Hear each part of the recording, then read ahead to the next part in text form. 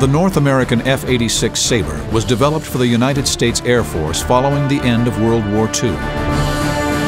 It first flew in 1947 and entered combat in Korea December 1950. The single-seat F-86 was the first U.S. swept-wing fighter. Armament consisted of six 50 caliber machine guns in the nose. Some versions carried two 500-pound bombs under the wings. We had a wonderful gun sight in that F-86. And as soon as that gun sight was locked on, pull the trigger, hear six 50 caliber machine guns chattering at one time. Even could smell the smoke coming back from the guns. The F-86 demonstrated nearly faultless handling and could outdive the enemy with ease. Beginning with the E model, the F-86 featured a hydraulically boosted horizontal stabilizer called a flying tail. This provided full pitch control at even maximum speed. The F-86 was a fantastic airplane to fly from a pilot's point of view. It flew exceedingly well.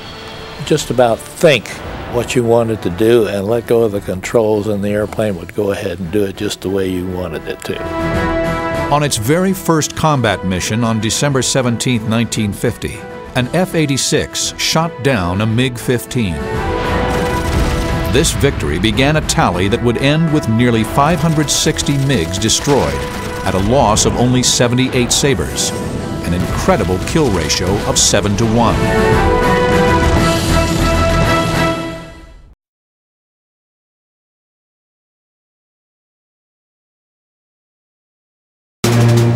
In 1940, North American Aviation designed the legendary P-51 Mustang in response to the British need for a high-performance fighter aircraft.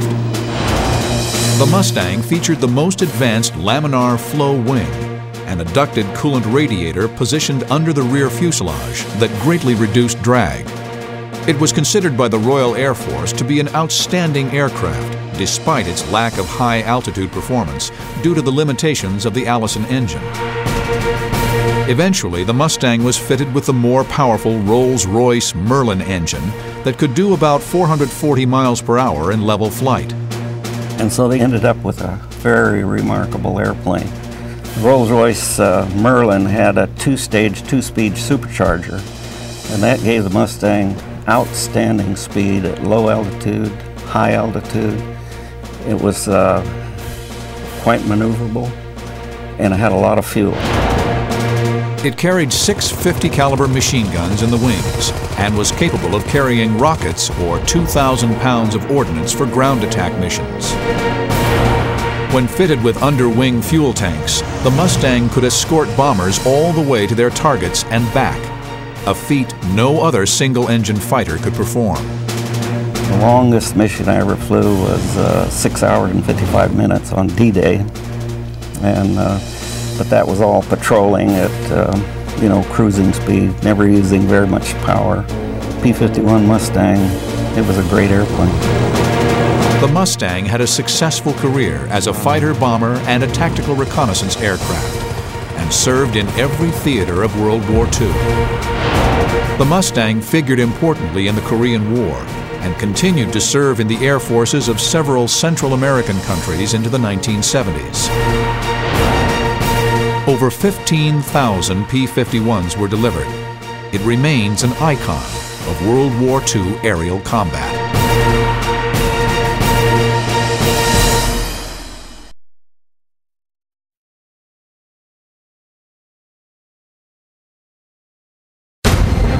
The Curtiss P-40 Warhawk first flew in 1939 and was used in great numbers during World War II. The P-40 was essentially a P-36 aircraft refitted with a liquid-cooled, supercharged Allison V-12 engine that did not offer more power than the old radial engine, but allowed for a smaller frontal area that helped to reduce drag. The P-40 was a faster aircraft, uh, better armed, as well as uh, better armor on it so it could take that beating it needed to take. The single-seat, low-wing, all-metal fighter was armed with six 50-caliber wing-mounted machine guns and one 500-pound bomb. The P-40 had good agility, especially at high speeds and low altitudes, but was not even comparable to the highly maneuverable Japanese fighters, such as the Nate and Zero. General Chennault's American Volunteer Group, better known as the Flying Tigers, flew P-40s with great success against the Japanese aircraft. The type of attacks he typically set up was to come in at high altitude, make screaming diving attacks against Japanese formations, take the energy that they built up, zoom climb up to a high altitude again, and come back around. He told his pilots, do not dogfight with the Japanese airplanes. Certain death. Even though the P-40 was considered mediocre, it was rugged and reliable enough to play a role with Allied air forces in all theaters of World War II.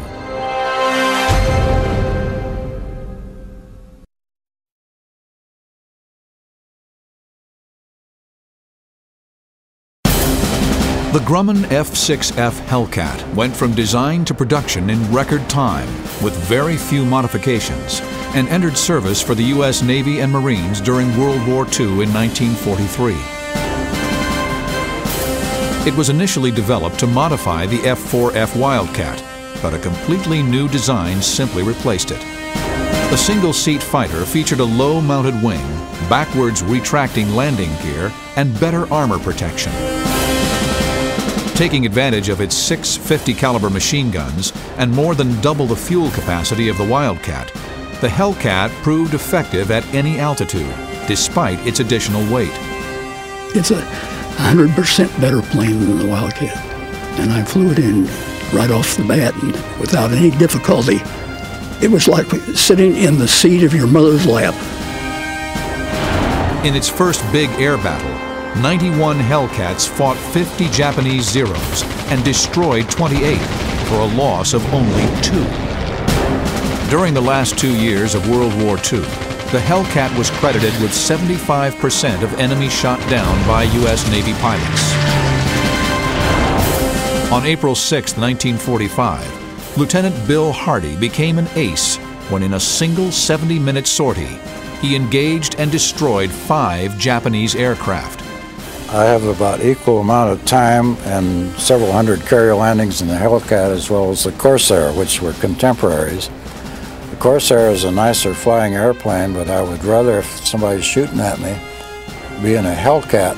The Hellcat can't be beat if somebody's shooting at you. In all, the Hellcat destroyed over 5,000 enemy aircrafts and boasted the best kill-to-loss ratio at 19 to 1.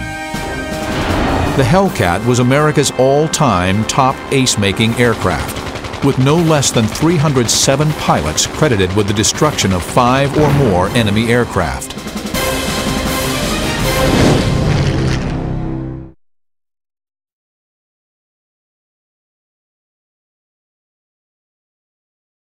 The swept-wing MiG-17 was derived from the Soviet MiG-15 design.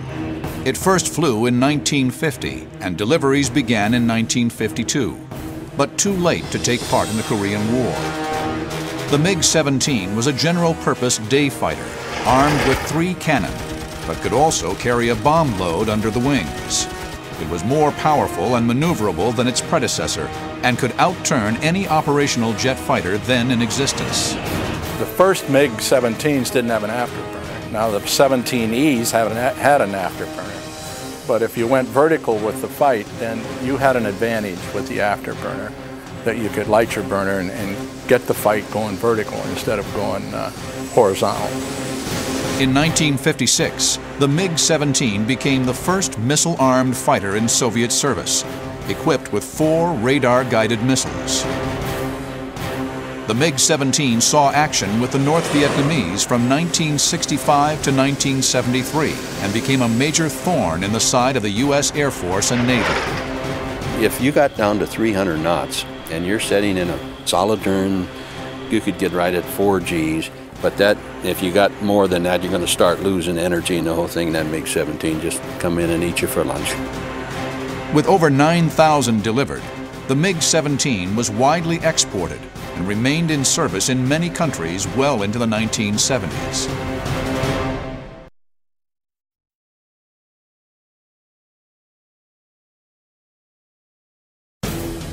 The ME-109 was designed by Willy Messerschmitt in Germany and first took flight in 1935. The single-seat, lightweight fighter was of all-metal construction, featuring a closed canopy and retractable landing gear. The ME-109 boasted superb low-speed handling characteristics. Its fuel-injected inline engine could operate at high altitude, but the airplane suffered from lack of range. The ME-109 was a very short-legged airplane. It probably had maybe an hour and a half endurance. It was armed with one 30 millimeter cannon and two 13 millimeter machine guns. The big cannon, if you got hit with that, would have would have been devastating. It was designed to shoot down bombers. The multi-purpose ME-109 aircraft was used in air-to-air and ground attack roles. With nearly 35,000 delivered, the ME-109 was the most widely produced and arguably the most famous German fighter of World War II.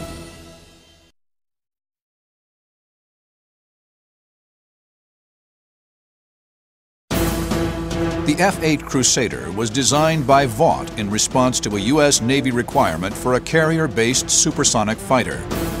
It became apparent in the early 50s that, that the Navy needed this capability. The Air Force was ahead of the Navy in that regard with their airplanes, having gotten several supersonic airplanes out there, and it became obvious that that was the way to go. On March 25, 1955, the prototype Crusader first took flight and Mach 1 was exceeded. The single-seat fighter featured a variable incidence wing that could be pivoted up 7 degrees and acted as a speed brake to reduce landing speed. It was equipped with a push-button autopilot and a search and fire control radar system for enhanced all-weather operation. Armament consisted of four 20mm cannon and four Sidewinder air-to-air missiles. On July 16, 1957, Major John Glenn set a coast-to-coast speed record of 3 hours and 23 minutes in a Crusader, making it the first non-stop transcontinental flight to average supersonic speed. In 1962, it was the Crusader that went in low and fast to photograph the Cuban missile sites during the crisis. The Crusader was used by both U.S. Marines and U.S. Navy during the Vietnam War and had a kill ratio of 19 to 3, the best of any American fighter during the war. A patch was issued to commemorate this great plane. You're looking right at a pilot, and the inscription on it is, when you're out of F-8s, you're out of fighters. And the guy's got a tear in his eye. And, and so that was kind of our feeling. The Crusader was the last American fighter with guns as the primary weapon and served as a frontline fighter and photo recon aircraft for over 30 years.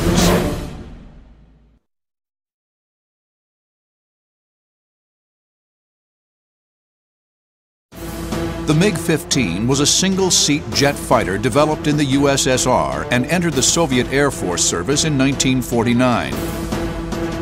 It took part in the first jet versus jet dogfights during the Korean War. It far outperformed the American F-80, but met its match with the F-86 Sabre. The strength in the MiG was uh, basically the fact that he could uh, turn tighter, uh, climb higher, climb faster, had bigger guns, had a computing gun sight in the latter days of the war. The plane's lightweight, swept wings and clean lines gave the MiG-15 a blistering rate of climb, as well as exceptional high-altitude performance. The MiG-15 featured a very distinct nose air intake and heavy cannon armament. MiG carried two 23 millimeter cannons underneath the nose plus another 37 millimeter cannon underneath the nose. Both cannons were very capable of getting one hit and knocking the air target down. Although the MiG-15 could outclimb, outturn, and fly higher than the F-86 Sabre, the Allied pilots were better trained and had better equipment installed in their aircraft, giving them an upper hand advantage that resulted in a lopsided kill ratio of 7 MiGs for every one Sabre. The MiG 15 last saw combat in the 1967 Arab Israeli War.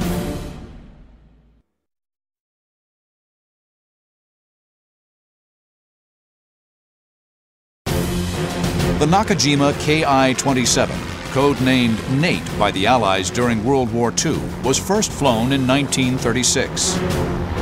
The Nate was Japan's first monoplane to see frontline service, first against the Chinese in 1938, then against the Russians in 1939. The low-wing monoplane featured the Nakajima trademark wing, with a straight leading edge and tapered trailing edge. It had uh, very low uh, firepower, a couple of machine guns. It had fixed landing gear. It was slow. The one thing that the Nate had was maneuverability. In combat, the Nate would eventually suffer due to the absence of self-sealing fuel tanks and lack of armor protection for the pilot. There was two very different design philosophies between the American fighters and the Japanese fighters. The American fighters are built for muscle, for strength, and the Japanese fighters were built for agility. The Nate escorted bombers in the Pacific during early World War II. It was soon replaced by the Oscar, but continued to serve as a trainer. Near the end of the war, they were equipped with 1,000 pounds of explosives for use as kamikazes.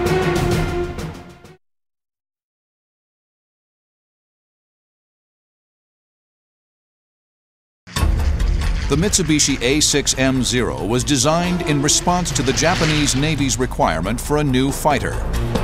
The single-seat, low-wing monoplane first appeared over Chungking in August 1940, when 15 Zeros shot down all defending Chinese fighters.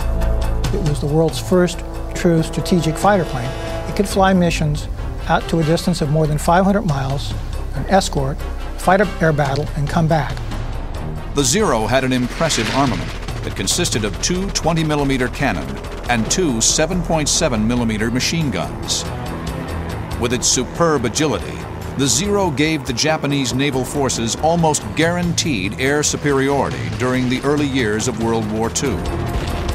By 1943, the Zero's light construction and minimal protection for the pilot and fuel tanks would eventually succumb to the introduction of more capable Allied fighters you could set it on fire with a with a tracer bullet. It was just high uh, high magnesium uh, aluminum that would burn at the drop of a hat.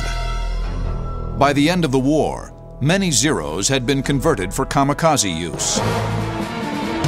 With over 10,000 delivered, the Mitsubishi A6M0 was Japan's most famous wartime aircraft.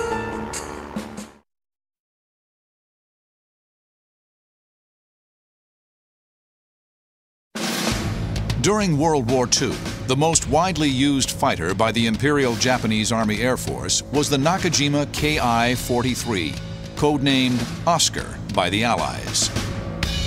The Oscar was designed to be faster and have a longer range than its predecessor, the Nate.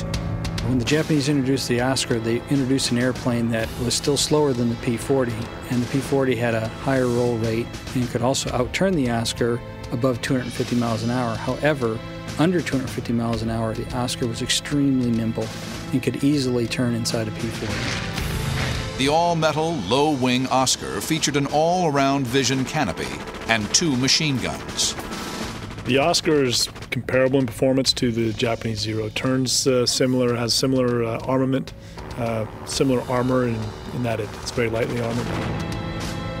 The Oscar tended to disintegrate when hit by heavy 50 caliber American ammunition.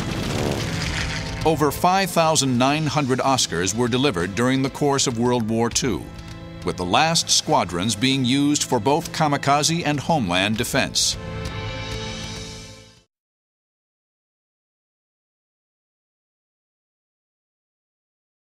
The F-4 Phantom II was designed by McDonnell Aircraft and was the first modern fleet defense fighter for the U.S. Navy. It entered service in 1961 and established 16 speed, altitude, and time to climb records. The F-4 was basically designed to shoot beyond visual range with radar-guided missiles, and that at that time where we were in history, that a gun would not be needed anymore. And I think anyone would agree, especially the F-4 pilots in Vietnam, that they wish they had a gun. The two-seat twin-jet all-weather aircraft, with top speeds more than twice that of sound, was the first aircraft that could detect, intercept, and destroy a target within its radar range without any assistance from surface-based radar. The Phantom could carry more than 15,000 pounds of weapons, including four Sparrow air-to-air missiles. Later on, the F-4E model came out, which had a gun uh, in the F-4, and they were glad to have it. The U.S. Air Force, in need of a new fighter, evaluated the Navy's F-4 Impressed with the results, it soon became the largest customer for the aircraft. During the Vietnam War, the F-4 became a successful MiG killer in both U.S. Air Force and U.S. Navy service, achieving a 2.5 to 1 kill ratio over North Vietnamese jets.